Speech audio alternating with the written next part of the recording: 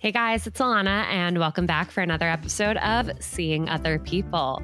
So, I want to call out that one thing I really appreciate about the Seeing Other People family, AKA you listening to this, is that I feel like you guys are really excited about the episodes that challenge you and that make you think and that make you really look within and, and figure out what could you be doing better or what could you be maybe like working a little harder at when it comes to yourself in dating and how you interact with others in dating and this episode is definitely one along those lines and it's one that I'm I'm so excited to share because it really made me think and made me think about conversations that I've had in the past where I could have done it differently and where I could have maybe been more empathetic and compassionate to the person I was having a conversation with. And obviously, life is about communicating with others and having relationships, whether it's a romantic relationship or a friendship or a relationship like a partnership or a a coworker ship, anything like that. And I think that everything we're going to talk about in this episode can really relate to any type of relationship, any type of conversation you're having in life where you really want to express yourself or encourage somebody else to express themselves in a in a really comfortable way. So, um, to help me with this conversation, and by help me I mean like lead it and teach us everything, is the wonderful David Sauvage. He is an empath. He really knows how to help foster healthy communication and authentic communication and how to figure out like what's within us that we can learn more about and understand more about so that we can then have better relationships, better life experiences, and all that. He'll give a much better introduction to himself. But without further ado, let's bring him in. And we are in the episode. Hey, everyone. We are here with the one and only David Sauvage, which is a really cool last name. Um, David, thank you so much for being here. Why don't you introduce yourself to the Seeing Other People family? Well, it's fun to be here.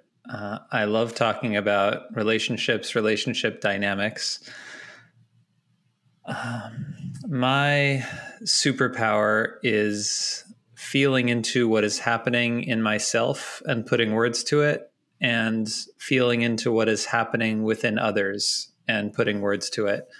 And I've been playing with this superpower in different formats. Uh, Pre pandemic, I was doing a lot of performance art where I would sit in front of audiences, feel people's feelings, and share what I thought they were feeling. And in the last year and a half, I've been focused mostly on teaching. So I teach emotional intelligence, healthy communication, and the like. Um, and so I'm happy to be here and share what I got. Amazing. Well, I'm really excited to have you here. And I think that is so cool, even just the way you describe that. Like the first part of your superpower is being able to actually figure out and feel what you're feeling and put words to it. Cause that's something that first of all, I think a lot of people don't know how to figure out like what they're really feeling, but I think the majority of us struggle with articulating that to ourselves and to others. So I think that's really cool that you're able to do that within yourself and of course within others as well. Um, now I'm a little nervous about everything we talked about briefly before because now I'm wondering what you think that I'm feeling. well, you seem to feel like mostly uh, curious, mildly nervous uh, a little bit excited uh, and like in a light, joyful place that's uh, your your your sweet spot. Okay, I'll take it. That that all sounds pretty accurate.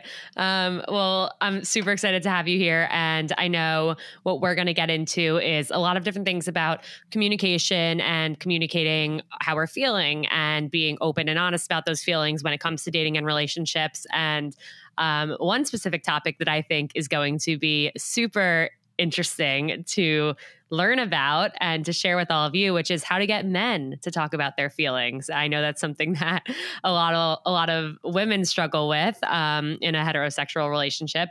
And you know to any of the guys listening like you might struggle with it too. You might know that you struggle with it. And if not give it a chance, listen. You probably, definitely, absolutely will learn something. Um, so, David, let's start off with healthy and like authentic, real communication. And I think the first place to start would be like, what are some examples of healthy versus unhealthy communication in terms of like dating and relationships? Probably goes beyond dating and relationships, but certainly includes them. Mm-hmm. I think about healthy communication as expressing honestly and authentically what is going on inside you in such a way that the other person can understand. So there's two pieces to it. The first is getting clear on what's actually happening within you. And the second is finding a way to explain it to somebody else that takes into account their psychology too. Uh, unhealthy communication, an example of this would be why don't you take your stupid socks off the floor, you jerk? That would be unhealthy communication. Uh, it's unhealthy because um, it's not taking any responsibility for the experience you're having when you're um, confronted with socks on the floor. It's taking all of that anger and turning it into blame and judgment.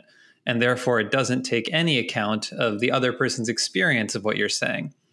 And not only is it unhealthy, it's also very ineffective, um, mm-hmm. usually.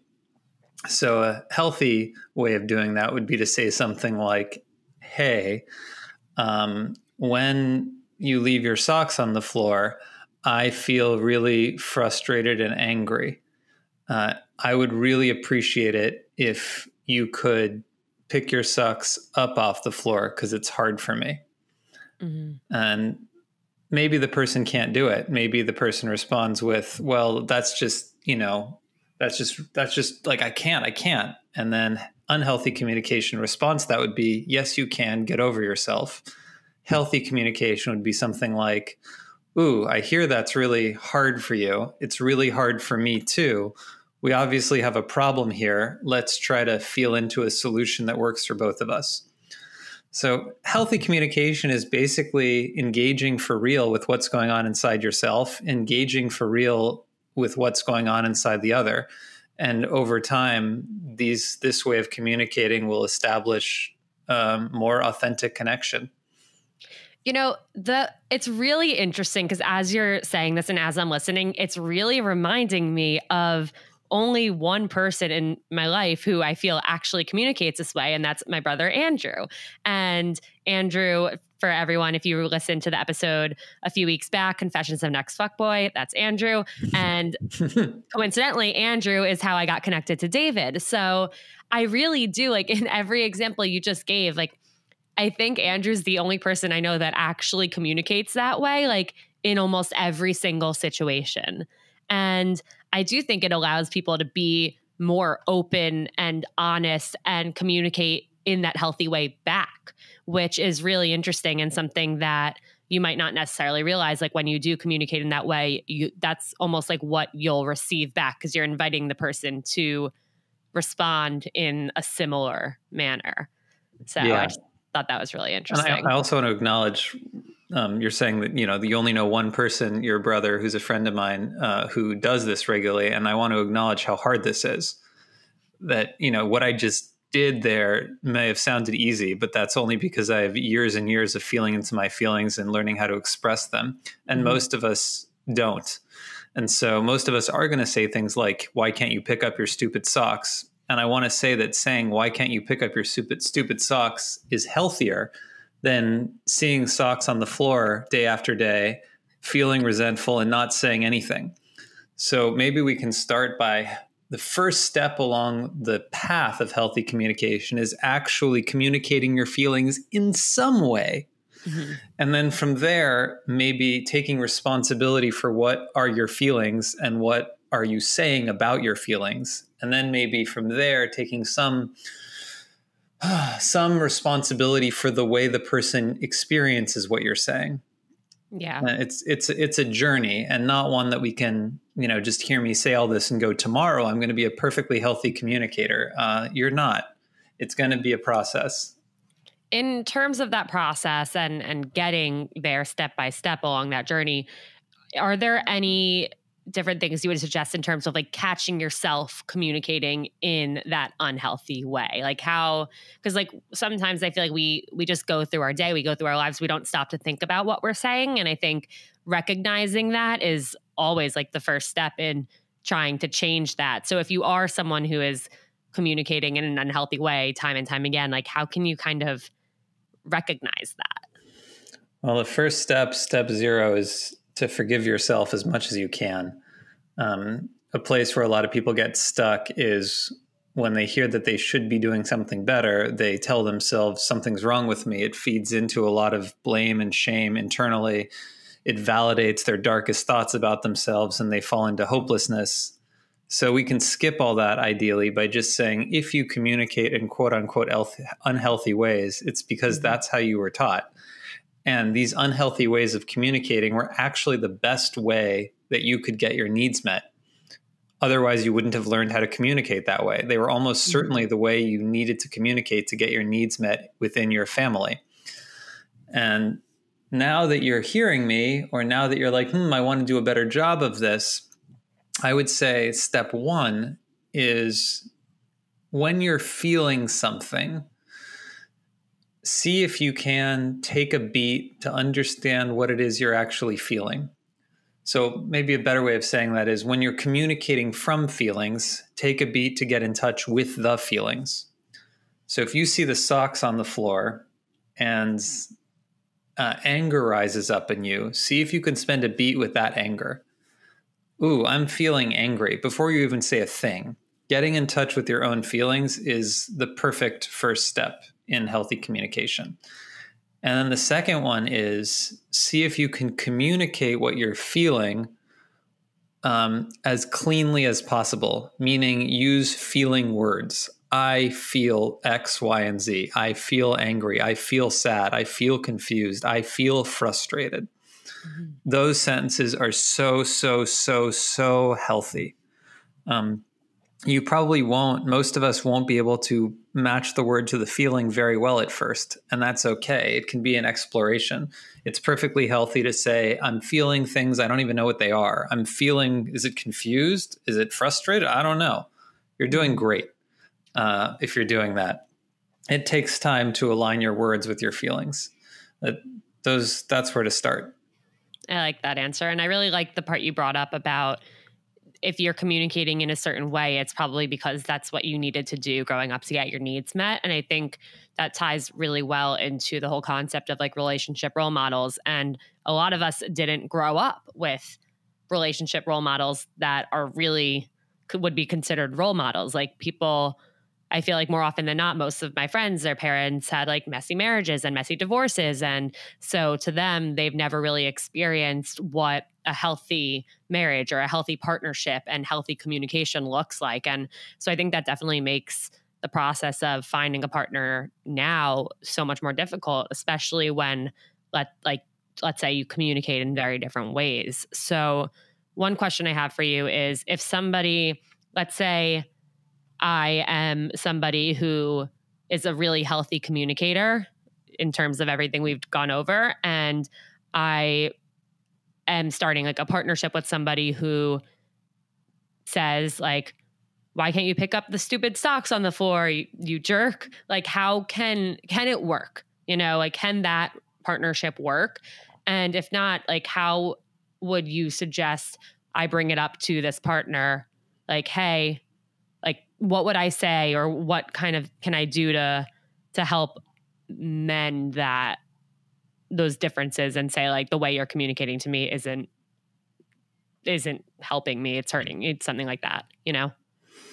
Um, it can work. It can work. It really depends on what the person's underlying intention is mm-hmm. when they talk like that so, in some families, aggressive communication, even outright mean spirited communication, is just a form of communication. It doesn't have much substance underneath it. Mm-hmm. And so that person might be communicating that way out of habit. And the task in front of you is to get them to see how that habit hurts you, which might not be that hard if they don't feel the feelings that are underneath that habit. But if there's a lot of rage or contempt underneath those words that is animating those words, if, for instance, really deep down inside, they want you to feel really badly, right. then you're going to have a deep, you have a deeper problem than communication. And no amount of learning how to communicate better is going to resolve um, malignant narcissism or even worse, uh, or sadism or something like that, or, or just a complete um, disconnection from your experience. Mm-hmm. So it really depends on what's going on inside the person, and you can't know what's going on inside the person based on what they're saying or how they're communicating. That's what we want to change. What people are saying is a vague clue to what's happening inside them, and we have no idea. So it brings up two approaches. The first is what you did, what you modeled pretty well right there, which is like, hey, when you say X, Y, and Z to me, uh, what happens with me is that I feel really constricted and disconnected from you and a little scared. Um, I would like you to change the way you express your displeasure with my sloppiness, please. And you might find that the person is really responsive to that. Ooh, I didn't even know that. Like, I didn't even know that that was having that effect on you. Thank you for telling me. And if he's really, really self aware, he'll say, It's going to take me a while to change my communication patterns because they're really deep in there. But I feel what you want and I'm going to make an effort. And please let me know when I slip into it. And now you're on mm-hmm. the same team working together toward a resolution that feels good to both parties. And that's wonderful. However, he might not respond that way in this hypothetical. He might say, What the hell is your problem? Get over yourself and now you have a deeper a deeper issue because this person might be carrying the belief that your feelings don't matter when they have strong emotions and this is a deep belief that a lot of people have that they don't realize it where it's like okay i'm having this intense emotion and that means that you don't matter and you don't matter and you don't matter and unprogramming that deep belief is really really really hard one of the best ways to really find love and find your person is to actually focus on being your best self and your happiest self. And in doing that, you naturally attract people towards you. And if you don't take the time to actually say, like, all right, I am going to prioritize me, I am going to focus on me, then that's probably not going to happen because life gets in the way. My favorite way to focus on whatever I need to focus on is with the help of Mindset Wellness CBD's CBD Focus Gummies. They are amazing. They taste great. They're organic, non GMO, and I have a discount code for you. So head to mindsetwellness.com and use code seeing other people at checkout for a 10% off discount and free shipping. Yeah. It's it's so interesting. Everything you say, I feel it, it really does extend beyond just relationships and dating. And of course, that's like what we're mainly going to talk about here. But I feel like more often than not, this happens in friendships. And I can even think about some friendships where it's like we go about our friendships year over year, and there will always be certain things that somebody might do or say or, or an action that might not align with you and and what you feel and what you want and i feel like we kind of let those slide under the rug a lot but i think i think the moral of the story here is like if you want to have a, a stronger healthier better relationship whatever type of relationship it is if not holding back and and doing that action to communicate how it's making you feel i think is like the best thing you can do for yourself and for the success of whatever friendship partnership relationship?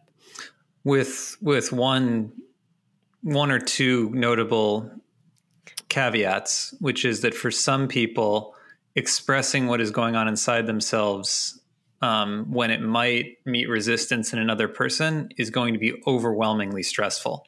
Yes like the, not the, easy. the conflict avoidance might be so intense that actually to try to do it could literally cause like a meltdown or a nervous breakdown or an anxiety attack.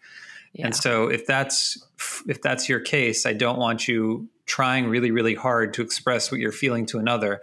I want you to look at that pattern in yourself. What is it in mm-hmm. you that is causing you to shut down or flip out at merely the thought of bringing up the way somebody has hurt you, honestly? Yeah. That's the work to do if you're incapable of, of bridging the gap. And in that situation, I feel like a lot of times that happens because of a past experience, or in, in a certain in one case, it could happen because of a past experience. And what if somebody's like been through something where the last time they did try and bring up how someone's communication or something they were doing was making them feel and it, it went terribly like i can imagine that if i'm sitting here and i'm feeling like i'm going to break down at the thought of saying to someone like hey the way this thing or that thing or that thing is hurting me or whatnot like can we work through this? Like let's say the last time i did that it led to a breakup you know? How can how can someone really get past that? Or is it possible to get past that? Or what is the best thing to do in that mm-hmm. situation? Like you mentioned where you are feeling so stressed at the thought of it. Well it depends on the particulars here. In the case of somebody like you just described who in the past was honest and it led to something overwhelmingly painful and now they're having all this intense fear come up around it in a current relationship you're going to need some support for bringing bringing it out. That support could come in the form of a friend, like, "Hey, can we plan this conversation? Can I role play this?" Mm-hmm. Um, in in psychological terms, we would call that emotion exposure. Let me see if I can feel some of the discomfort I'm about to feel up front, so that when I bring it up to this person, I'll be more ready for it. Another thing you could do is practice expressing what you're feeling around issues that are relatively trivial or trivial or minor. So, hey, I'm a little scared to bring this up, but the food you made today, I so appreciated all the love you put into it, but the salt was a little too much for me. And I'm really scared to tell you that because I really appreciated that you cooked for me. Mm-hmm. And that conversation is probably manageable even for the most conflict avoidant person. And it will help build the muscles of healthy communication. And then, depending on the relationship that you're in, uh, you might rope in for support the very person you're trying to communicate with.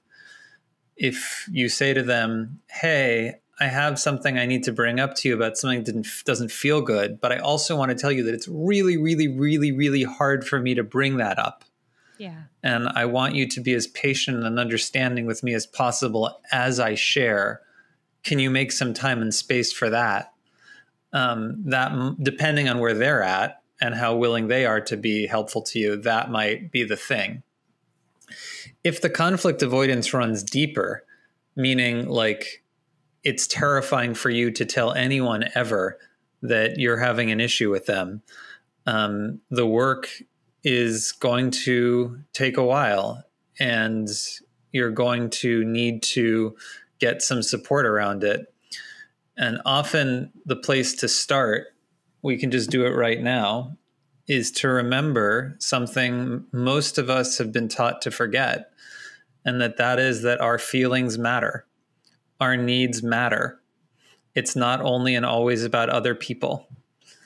And that's something that most of us were taught backward about. Most of us were taught that our needs don't matter, that our feelings come secondary, that we should take care of other people before ourselves. Uh, women get this message more than men, or girls get this message more than boys, but boys get it too. And we need to unlearn that. Yeah, that's a really, really, really good point that you brought up. And I can even in conversations that I have with listeners, it's like, it's like that situation where 95% of a relationship or like something that could be going on with someone and I've been in this situation too myself where it's like it's not good it's not healthy it's clearly not okay you're not happy but that 5% or like those times where you help them where it's like people kind of instead of trying to find partners, they find projects because it's like, oh, but like I can make this person better. And it's like, well, you're not making yourself better. You're not feeling good. Um, and I think that's something that it's easier to prioritize other people before ourselves because we feel like we're being selfish when we're putting ourselves first.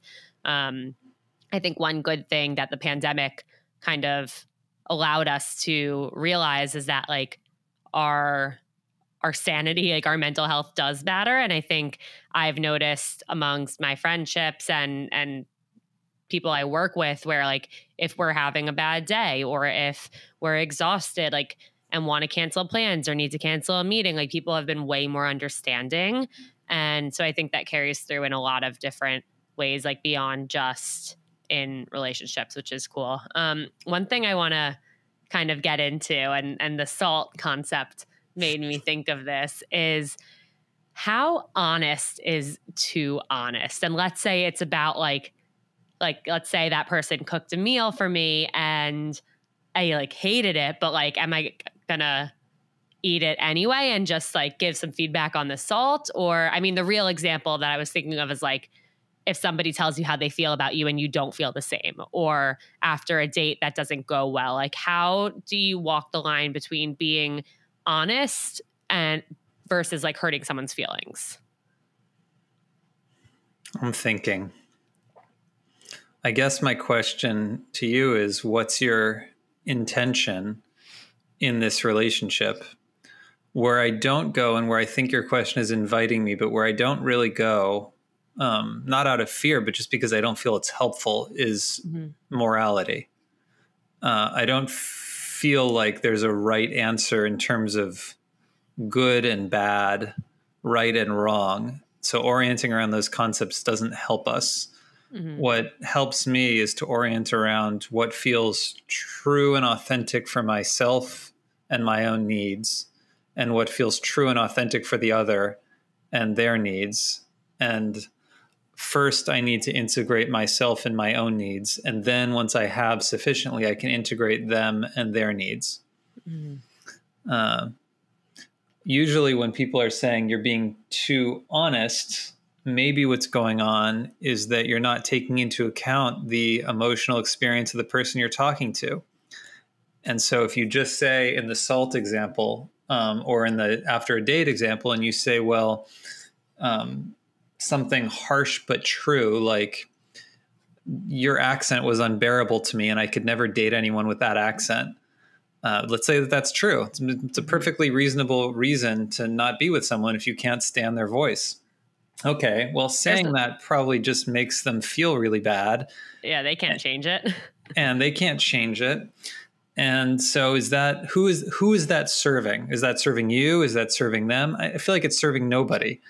Um, but maybe what you could say is um, there are i'm not feeling i'm not feeling like there's compatibility here just as true mm-hmm. but you're not delivering information that is just hurtful and pointless um, but let's say the person's really curious and they're like it would really help me to know what's what the nature of the incompatibility is well if you're really really really astute and i mean really astute you'll be able to discern whether they're asking from a place of truly wanting to grow and understand themselves or whether they're asking from a place of wanting to feel bad about themselves and punish themselves.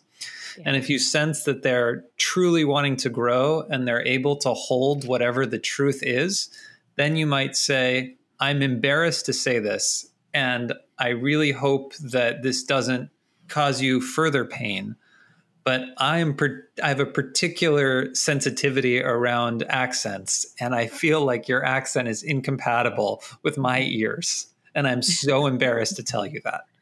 Yeah. Uh, if you feel like that really serves that person, then go for it. But if it feels like you're just hurting them for no reason, then that's not very nice, and it doesn't serve you either. Like you, that's you're you're just gonna feel worse yourself yeah, I, I really like that example and the way you explained that because I do see people sending like thoughtful like anti-ghosting rejection texts where it's like I had a great time but I I don't feel a connection and and most of the time people will say like appreciate the honesty but sometimes people will ask like can I ask what I did wrong or can I ask what wasn't didn't feel right for you and I think that question really catches people off guard and they never know what to say and so I really like that concept of like considering where their curiosity is coming from and if if what you're going to say is going to help them or hurt them. So I think that's yeah. definitely really good advice. And I also want to make a distinction between authenticity and transparency. I'm a big fan of authenticity, but transparency is something to be discerning about. And there's nothing wrong with saying, I don't feel comfortable sharing what it is that is causing this feeling in me. Mm-hmm. That yeah. is honest and real and good and healthy. And that is a that is an expression of a boundary many of us need to set. Just because yeah. somebody's asking for information does not mean they're entitled to it. Absolutely. It's a really good point.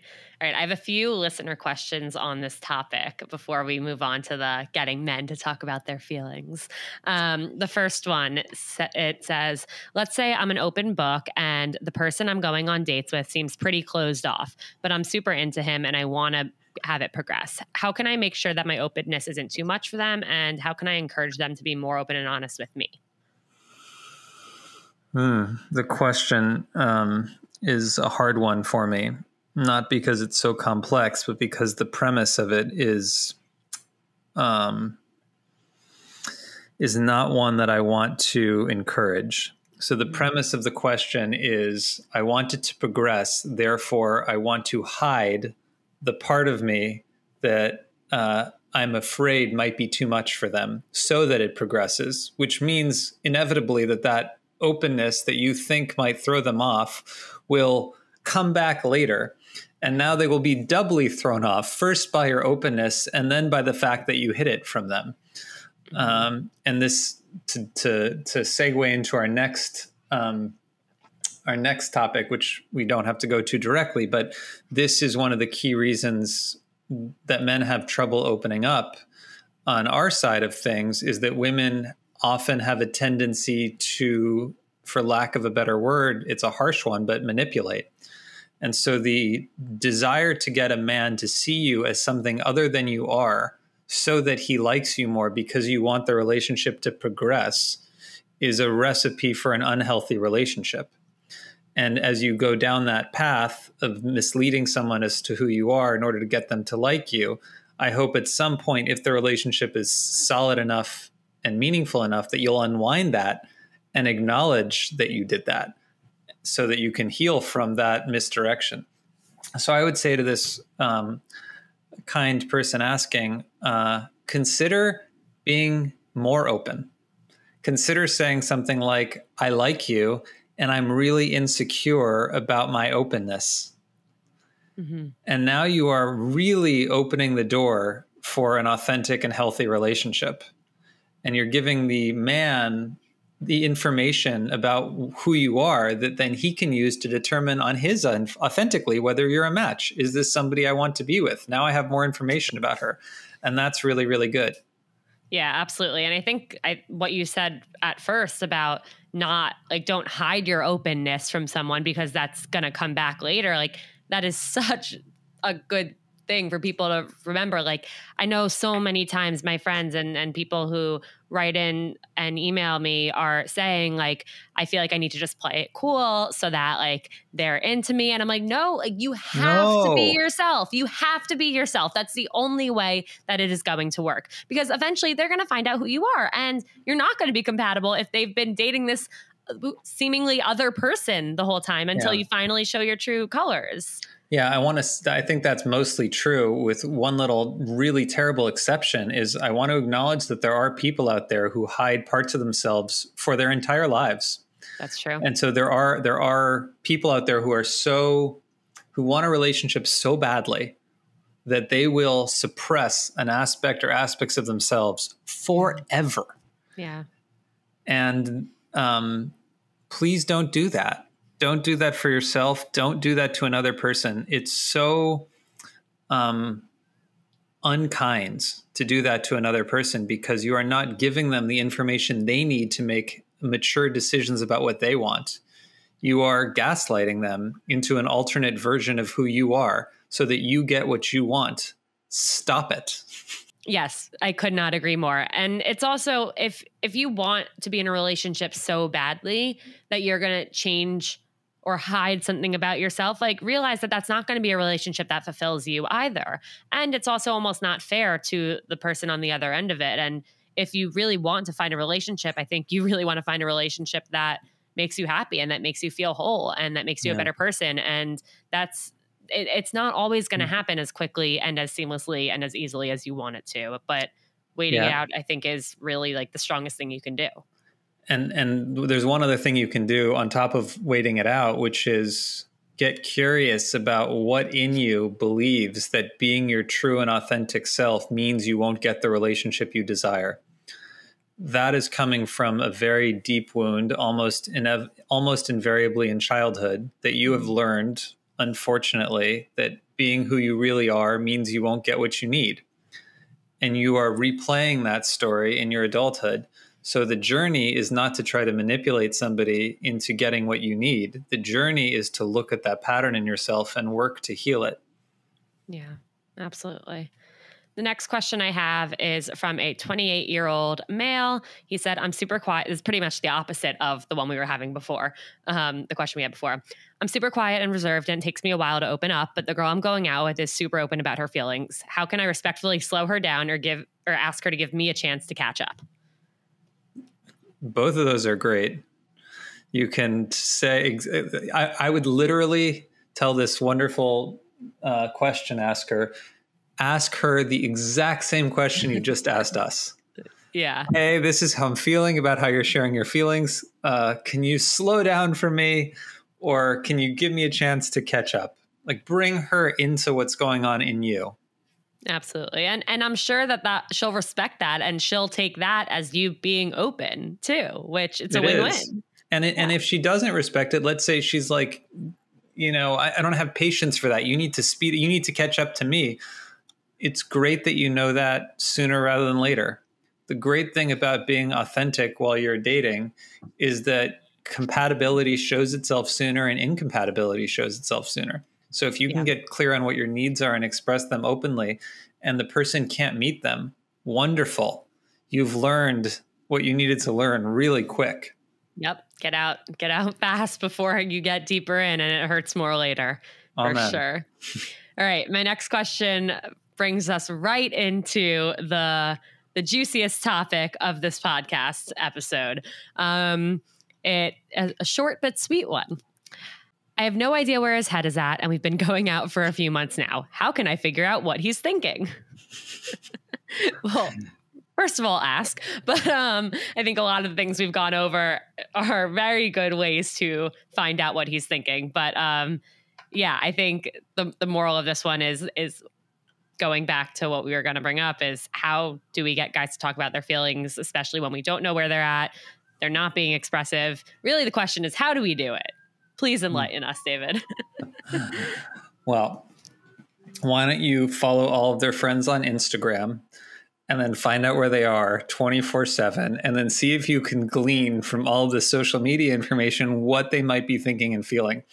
Pay special attention to their exes pay even more attention to how many minutes after you post an Instagram story are they checking it and yeah. if they're active but not responding to your text. Like that's the most important thing to t- pay attention to, obviously. Obviously. And, and the best the, the, the best thing you can do to understand what they're truly thinking is to get their phone password. Very healthy. We love that. I, we we highly recommend that for a healthy, stable partnership so these are some strategies. Uh, well, I like what you said to uh, to your question asker there, which is, it sounds like she really wants to know how he's feeling about her. Yeah, and she really doesn't want to ask him. And so I would suggest that she say something to him like, "Hey, I really want to know how you're feeling about me." But I'm really scared to ask you. Yeah. And he might say, Oh, I really like you in a way that she doesn't believe or feel. He might just say whatever it takes to get her to go away because he's not enjoying being asked about his feelings. To which her response could be something like, uh, I hear that you say you really like me, but when you say that, it doesn't calm me down because I don't feel you feeling that. I'm just not sure. And I think this gets to the most important thing. Well, maybe not the most important thing, but the first thing that's coming up about what women can do to help men express their feelings is to express their own feelings honestly and openly and vulnerably. So if you want him to say what he's thinking, what I don't think she means thinking, I'm sure she means feeling. What maybe what she could do is say, This is how I'm feeling. Yeah. Absolutely. I think I think it's so I mean, obviously it's so important to to find out and be on the same page because I think what happens more often than not is we make assumptions. Like the number of times people tell me like they think they're exclusive with someone or they think they're like eh, heading towards a relationship and then they find out the other person's completely not thinking that like and I've been through that so many times and and everyone listening like you guys know how much hell it's put me through and how much pain I've gotten myself into because of it um and I think yeah I think it's really not it's just say like hey I really enjoy hanging out with you and I'm definitely developing feelings for you and see this going somewhere that's how I'm feeling. I'm just curious, like, where your head is at. It doesn't have to be this, like, so are you going to fall in love with me? Are we going to date? Like, where is this going? It doesn't have to be a serious conversation. Yeah. But then I want to take into account the many, it's not just women who fall into this, but we're talking to women right now, I guess, but the many women who really are having those super anxious fears yeah. So they're not just curious. They might be obsessive. They might be scared out of their minds. They might be waking up every day desperate for a text message and afraid to communicate how desperate they are for that text message. And so the the thing to do there, as challenging, as excruciating as it might be, but the way forward is to start communicating openly about that. Yeah. If you have a lot of anxiety around what the person is feeling, your job, as difficult as it is, is to start owning that and expressing that. And so saying something like, hey, um, I spend a lot of time trying to understand what you're feeling, trying to reassure myself that you like me, talking to my friends about what you might be thinking. You would make my life so much easier and I would be so much calmer if you would tell me what you're feeling and what you're thinking. Can yeah. you do that for me? That would be amazing if you can find the courage to do that. And it's definitely not easy. And and I really like what how you brought up like that feeling of like waking up and and needing that text or like feeling so so anxious over not getting that text not hearing from them not having that like little bit of what you need to feel reassured and i i have a feeling a lot of people listening have felt that way and know exactly what you're talking about and to anyone listening who hasn't felt that way, you might be like, wow, well, this person, whoever's doing this and, and feeling this sounds crazy. Like it's it's it's really real. And I've felt that so many times, and it's truly one of the worst feelings in the world. Um, and so always consider that the person on the other end, especially if it's a new relationship or you've been on a few dates, like you don't know what they've been through and you don't know how it's whatever they've been through has impacted them. So it really is, I think, more common than you may think if you've never been through it for somebody to really like feel this debilitating anxiety over not getting a text back or not knowing when the next plan is going to happen. And like i've i've like been anxious to tears over this stuff or like not eating for days because i just didn't know if i was going to see a guy for a third date you know? And it sucks. Um so and i really think that like most people would be receptive to what you just explained, David, like saying, like, hey, like this is how this is making me feel. Like it would be really helpful to me if you could do this. It would make me feel a lot better. And I think that if if somebody is going to be right for you, then they would be willing to do that. And it goes back to what we brought up before, where like if they resist that or if they're not willing, like then you know sooner. Yeah. Or at the very least, if if they're if they struggle to do that, at least they can express that they struggle to do that. Yes. So maybe they can say, Hey, I get that you want me to text you every day. That's really hard for me. Mm-hmm. So and now we're why. at least, and here's why. And now we're it doesn't mean I like you any less, or exactly. I'm not thinking of you. I'm super busy with work, things like that. Or my, it's, or I feel, I'll talk for myself. Like when I'm in a, when I'm in a relationship and there are needs for regular communication, I get, I personally end up feeling drained and it's not a sign of my lack of interest in them. Mm-hmm. Um, it's just uh, it taps into this wound in me of like you got to let your mother know how you're doing and i become it's it, it, loses the romantic flavor and starts to take on a chore and then the, the the spark goes away not because the spark isn't there but just because it falls into the category of like ugh and that's that's wounds on my end that might interact in painful ways with wounds on a woman's end and mm. it doesn't mean we're fundamentally incompatible but it means we do need to be in open and honest dialogue about this tension. Yeah.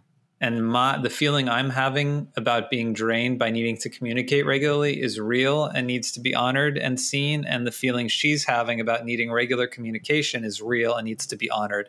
And so in a healthy relationship we're seeing both of each other's needs and trying to find the sweet spot absolutely. Why is it that maybe men more than women are a little more reserved with communicating about their feelings? I mean even for me uh, in the past relationships I've been in or past like situationships or dating experiences, it's it's always been me like being being upfront about it or or not really getting anything from the guy or like having to wait for that text the day after a date um, up until my current relationship where literally 20 minutes after the date i got a text saying i had a really great time and would love to see you again and i think that's literally why i'm with my boyfriend because after every date he texted me right after to tell me how he was feeling and i was like what is this? Like, where did this guy come from? Um, yeah, why why is that? I guess is my question. Yeah. Well, I would say for the most part, women get the short end of the stick in this world. You we are in a deeply patriarchal world and it is harder on the whole to be a woman than a man but there are some exceptions. And there was definitely an area where men got the short end of the stick, and that we were taught in a way women weren't taught as badly that our emotions didn't matter and that we need to toughen up and that feelings were for sissies. And the way we internalized or integrated that is by disconnecting from our emotions um, what when when we learn, and I was I learned it too. When we as boys learn that we need to be tough, the way a child understands that is that they need to be numb. there's no way to be tough, but there's a way to be numb. And so you you're like, oh, I'm having these feelings. I shove them down. Mm-hmm. Um, and and so now when women are saying well i want i want you to express what you're feeling you're encountering layers and layers and layers of multi-generational masculine trauma. Good. Great. Lovely. It's not what i signed up for. It is on some level. Yeah i know. I mean but like how how can we help? I know we we've talked about a few different things that we can say and do, but I guess just like day to day or like when on a date, whether it's like a first or second or third date, or when it comes to like having an exclusive talker or just like talking about feelings, like what are a few things that women can do um, to kind of really just get men to talk about their feelings other than like first just saying, This is how I'm feeling. What about you? All right, you guys, we are well into cuffing season now. Technically, it might still be tryouts, but it's really time. People are over hot vax summer, shot girl summer, and people are ready to settle down. They're ready to find someone to keep them warm. And whether you are looking for somebody just for the winter that could turn into a year round type of thing, or if you're really looking for the one, now is the time. Now is when people are trying to get into relationships and you don't want to miss this opportunity. So it is time to focus on dating, focus on updating your dating app profile, putting together your pre date playlist, and getting out there on dates. My favorite way to focus is by taking a CBD focus gummy from Mindset Wellness CBD. You guys have to check them out, mindsetwellness.com. And of course, use code Seeing Other People at checkout for a discount. Yeah.